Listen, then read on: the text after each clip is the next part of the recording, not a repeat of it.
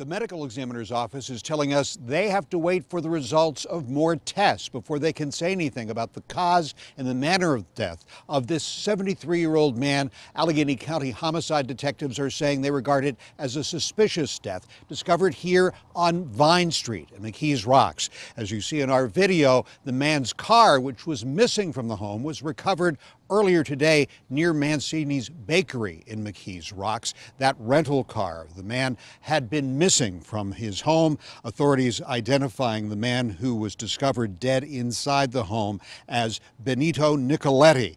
Now, police had been contacted by relatives of the man who had been unable to reach him for a number of days. When they entered the home, they discovered him dead. And again, while not releasing details, they're saying the circumstances are regarded as suspicious. Now, some relatives of the victim have been posting on social media that this was a homicide and saying that they believe that police have a lead on the person responsible.